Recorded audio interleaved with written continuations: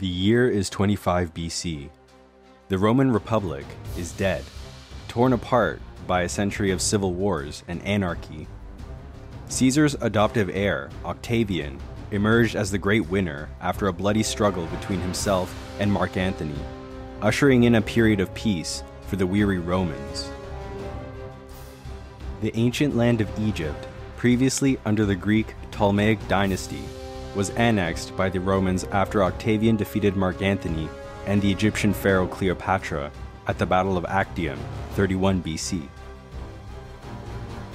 The Roman state was transformed, and although Octavian maintained the veneer of Roman republicanism, historians generally agree that the Roman Republic had come to an end and the era of the Roman Empire had begun. With Egypt now incorporated into the empire, the Mediterranean Sea was now a Roman lake, and the world was seemingly at peace, but not for long. In the north of Spain, in the mountains of Cantabria, fierce tribes of Celts called the Astures and the Cantabri had yet to be conquered, and Octavian would spend the year of 26 BC to personally lead his legions against this final holdout of Iberian Celts. As the war dragged on for about 10 years, Rome's neighbors would come to know of this conflict, with some seeing it as a unique opportunity to take advantage of. Just south of Roman Egypt, in the land called Nubia, was the African kingdom of Kush in modern day Sudan. The ruler of Kush, who the Roman and Greek sources named Candace, had heard that the Roman Emperor Augustus was engaged in a war in faraway Hispania and was therefore distracted. The Kushite queen Candace was also aware that two years earlier, the Roman legions based in Egypt had lost many men to sunstroke after a disastrous expedition fighting nomadic tribes in Arabia. Some 650 years before this, the kings of Kush had once ruled Egypt, with their capital city, Napata, becoming the religious capital of the Egyptian world. Fully aware of this once glorious past, Candace saw an opportunity to restore the ancient Kushite dynasty and immediately marched an army along the Nile and into Roman Egypt. The Roman writer Cassius Dio, writing some two centuries later, recorded that this Kushite army advanced to the southernmost Egyptian city named Elephantine, while, quote, ravaging everything they encountered, end quote. News of this incursion reached the prefect of Egypt in Alexandria, named Publius Petronius.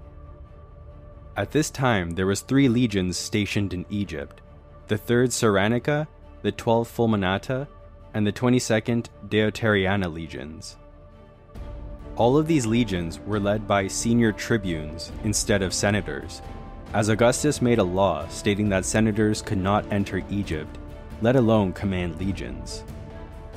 This was most likely meant to prevent a senator from attempting a rebellion, as Egypt was a rich land and any potential usurper would have access to ample funds and men to seriously threaten the unity of the young empire. With a force of 10,000 infantry and 8,000 cavalry, Petronius launched his counterattack against some 30,000 Kushite forces in the closing months of 25 BC. This response succeeded in forcing the Kushites to retreat to the city of Selchis, or modern day Dakka, in the Sudan. Shortly after this battle, peace negotiations began, with the Romans demanding that all stolen property and prisoners be returned immediately. The Kushites asked for three days to deliberate their decision. When three days passed, with no attempt by the Kushites to meet the Roman demands, Petronius attacked them again, with the Kushites fleeing in disarray. The Greek historian Strabo described the scene, saying, quote, Badly commanded and badly armed, for they carried large shields made of raw hides and hatchets for offensive weapons. Some, however, had pikes and others swords. Part of the insurgents were driven to the city of Selchis. Others fled to uninhabited country. End quote. Candace herself escaped the battlefield with her personal bodyguard. Inundated with captured Kushite prisoners, with some of them being high ranking generals in Candace's army, Petronius ordered these men, along with the rest of the prisoners from the battle, to be sent to Augustus in Rome via Alexandria. The capture of Selchis did not provide the Romans with a sufficient buffer zone, nor did it teach the Kushites a severe enough lesson on Roman retribution. With this, Petronius looked to press this advantage and continue marching his army down the Nile, pursuing the remaining Kushite army. Along the way, the Romans stormed one Kushite city after another, eventually stopping at the occupied settlement of Qasr Ibrim and establishing a garrison. The path to the Kushite capital city, Napata, was open, and Petronius was determined to capture it for the glory of Rome. Built on a sacred hill called Jebel Barkal, the city of Napata was 700 years old by then. The Barkal Hill had been considered by the Egyptians to be the home of the god Amon, and around the bottom of the hill stood a number of ancient Egyptian temples. These temples were more than a thousand years old and were most likely built by the pharaoh Thutmosis III, who ruled the area centuries earlier. Upon reaching the outskirts of Napata, the Romans were hoping to confront Candace, but were surprised to find out that she fled to another town, and were instead met by Kushite ambassadors sent by Candace. They offered to return the prisoners taken from Elephantine, as well as looted royal statues in exchange for peace. But this deal was unacceptable to Petronius, who rejected the deal and instead ordered the walls of the city be stormed and the city sacked. Pillaging and looting ensued, and the city came to be occupied.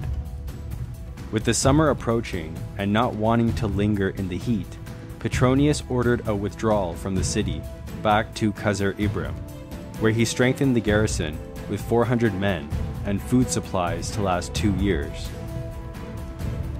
This would be considered the southernmost point in the entire Roman Empire.